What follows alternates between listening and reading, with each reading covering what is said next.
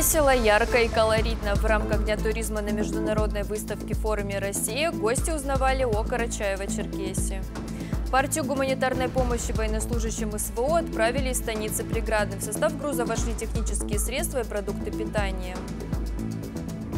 Год семьи и молодежи о планах на год, мероприятиях и многом другом в ходе прямой линии рассказал Ибрагим Татаркулов. Жизни, традиции народов Карачаева-Черкесии фотографиях. В Черкеске открылась фотовыставка Арсена Алабердова.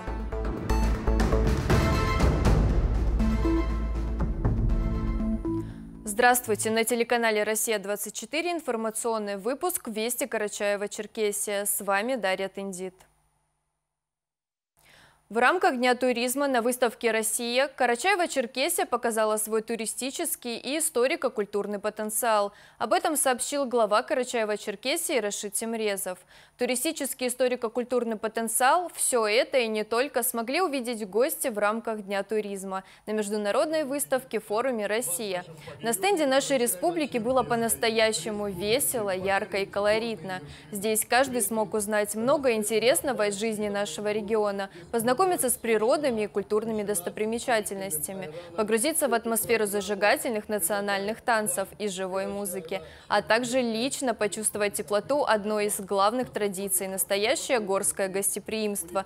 Мы душевно по-кавказски встречали всех гостей, как это делаем в нашей родной многонациональной Карачаево-Черкесии – но наши гости не просто наблюдали за насыщенной программой, а приняли непосредственное участие в ней, а именно в мастер-классах по вышивке от дизайнера из Карачаева-Черкесии и обучению национальным танцам в республике. После такого праздника у посетителей нашего стенда непременно возникнет желание приехать и вживую увидеть всю красоту нашей удивительной республики, отметил Рашид Тимрезов. Своих не бросаем. Новую партию гуманитарной помощи военнослужащим СВО отправили из станицы Преградной. Отправка груза осуществлялась предприятием «Флора Кавказа».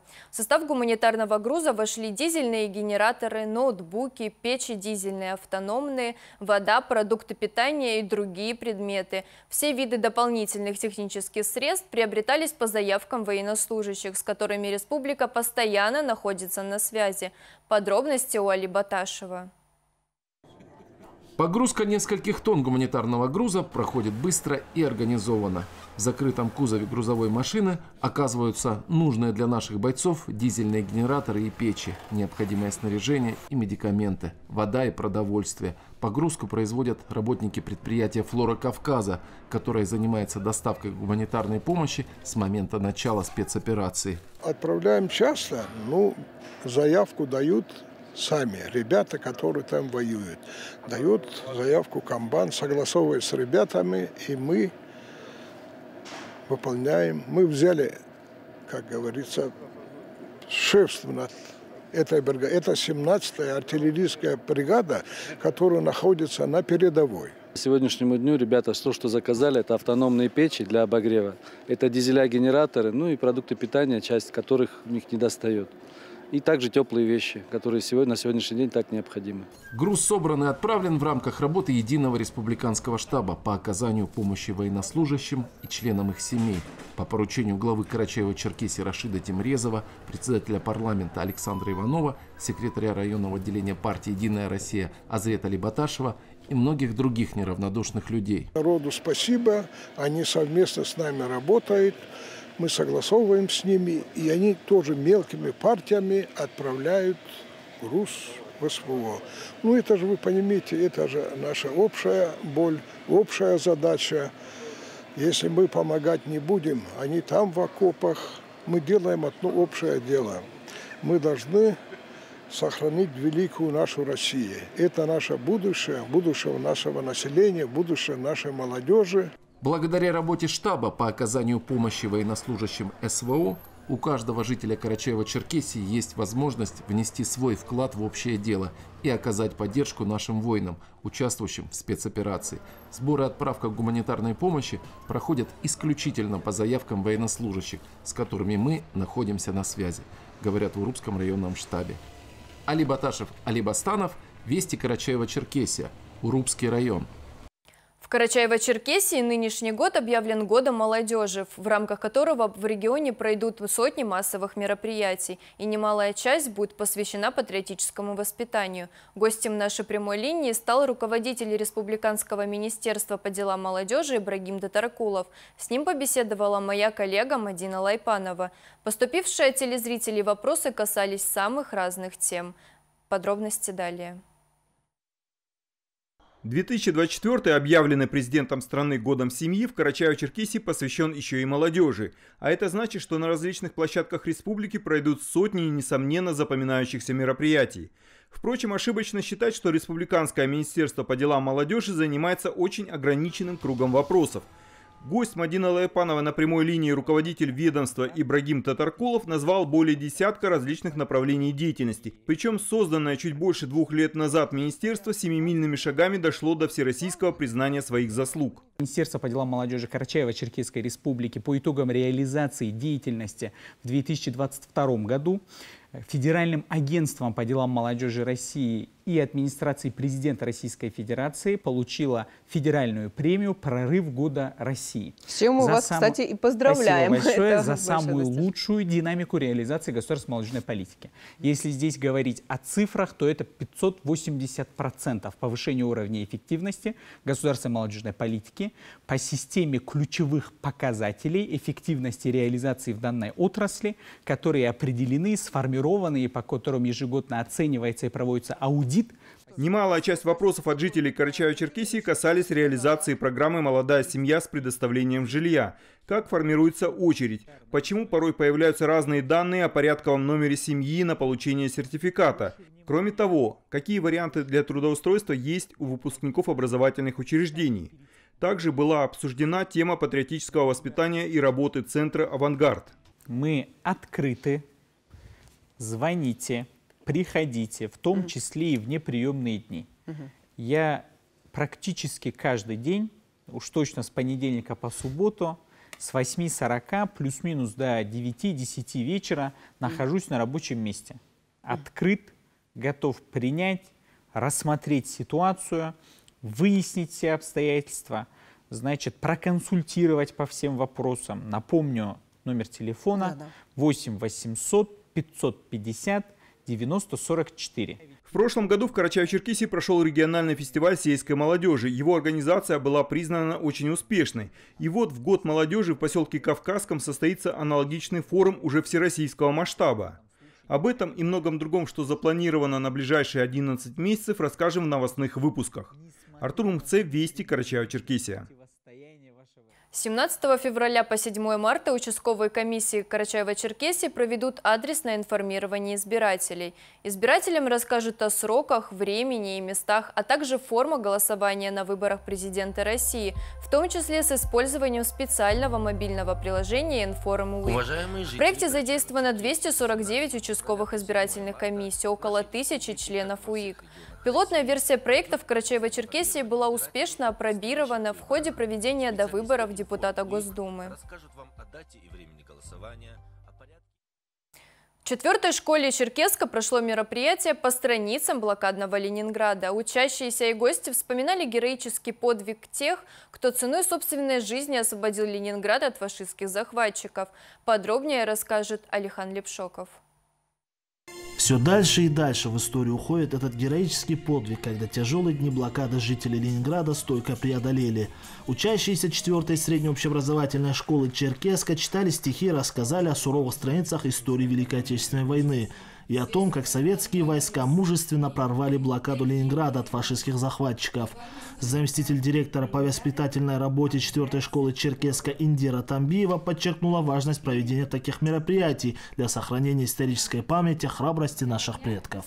Проводя такие мероприятия, мы, э, наверное, э, пытаемся, чтобы наши дети, во-первых, были патриотами своей страны.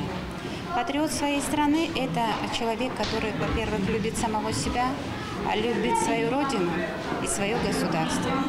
Это э, добросовестный, порядочный и готовый защитить любую минуту свое государство.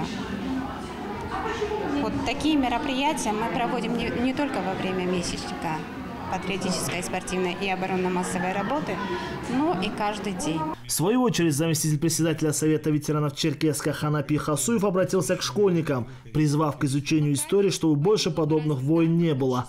80-летие прорыва блокады Ленинграда – это демонстрация победы жизнью над смертью, подытожил Ханапи Магометович. Удачи вам в жизни, хорошей учебы, и чтобы знать правильную историю, учите ее. Или не бывает такого народа, который исказил историю, сохранил себя. Это, пожалуйста, тоже опять пример, это же Украина может быть. Они, потеряв свою правильную историю, получили вот то, что сегодня ведется. На мероприятии вспоминали, как за период блокады в Ленинграде по разным данным погибло от 600 тысяч и до более 1 миллиона жителей. Несмотря на все эти ужасные условия, жители северной столицы смогли выстоять и одержать победу над фашистскими захватчиками. Председатель Совета ветеранов погранвойск Карачаева-Черкесии Сергей Юрьев также подчеркнул, что только благодаря самоотверженной отваге наших предков нам удалось одержать великую победу. Беспрерывным потоком шли умершие люди, везли, вернее, умерших людей полуживые мертвецы. Это сделали все фашисты. Сегодня задают вопрос, что такое фашизм. А вот, пожалуйста, город Ленинград, и больше ничего не нужно, не нужно никаких других смотреть. Ни Белоруссию, ни Украину, на которой все это происходило. Это город Ленинград, это и есть фашизм, который принес на нашу, на нашу землю 27 миллионов жизней забрал здесь. По завершению мероприятия все присутствующие почтили память погибших в блокаде Ленинграда минутой молчания. Алихалеп Шоков, Белла Чикатуева, Ренат Муков, Вести Карачаева-Черкесия. Жизнь и традиции народов Карачаева-Черкесии в фотографиях. На базе колледжа культуры и искусств имени Аслана Даурова открылась выставка фотографа-стипендиата Министерства культуры России Арсена Алабердова. Проект направлен на приобщение подрастающего поколения к народной культуре и искусству, формирование любви к родине, патриотичности и духовности. Смотрите подробности. Искусство видеть и умение запечатлевать мгновения – неотъемлемые спутники каждого талантливого фотографа. Торжественная церемония открытия выставки состоялась в главном холле колледжа культуры и искусств имени Аслана Даурова. Первыми увидеть работы именитого фотографа Арсена Алабердова пришли почетные гости и студенты. Ценно то, что у нас есть такой профессионал. Будущему поколению есть на кого равняться, отметил министр культуры республики Зураб Агирбов. Я хочу прежде всего поблагодарить Арсена, потому что э, мы действительно в республике, я считаю, в пропорции, какая у нас маленькая республика, сколько у нас талантливых людей, мы, конечно, очень богаты. И конкретно фотографы – это наше большое богатство.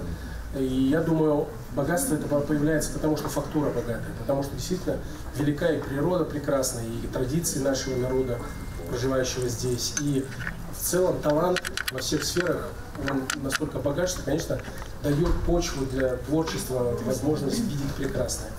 После торжественной церемонии Родион Унаджев исполнил мелодию XVI века на национальном нагайском инструменте дамбре. Затем присутствующие приступили к изучению работ. Мастерски играя светом, сочетая цветные и черно-белые фотографии, автор в точности передает задумку проекта. Уникальность выставки заключается в том, что она позволяет увидеть мир глазами мастера съемки. В какой-то фотографии черно-белое решение идет, а в какой-то цвет имеет очень важное значение.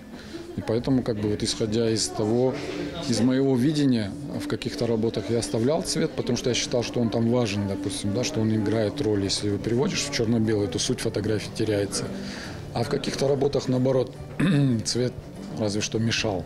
Первые посетители отмечают, что запечатленные мгновения отражают не только атмосферу жизни и быта, но и обладают тайной силой воздействия. Хочется остановиться и, вглядываясь, задумываться о чем-то вечном. Очень интересное переплетение то есть, э, современного быта людей разных народов нашей республики э, с историческими, э, скажем так, с историей наших народов. Поэтому хотелось бы больше вот таких интересных работ э, с, вот, с переплетением истории и современности, именно вот такой красивой бытовой вот эстетики хотелось бы вот в этих работах побольше увидеть. Фотографии Арсена Лабердова отличаются оригинальным стилем и глубиной эмоций. Автор рассказывает зрителю историю нашей республики, делая упор на народе, проживающем на территории Карачаева-Черкесии, отражая его традиции, ремесла, обычаи и обряды. Целью проекта является привлечение подрастающего поколения к изучению и сохранению истории республики. Фотовыставка проходит при поддержке Министерства культуры и Школы творческих индустрий. Благодаря э, Министерству культуры э, Карачаево-Черкесии, благодаря нашему министру культуры.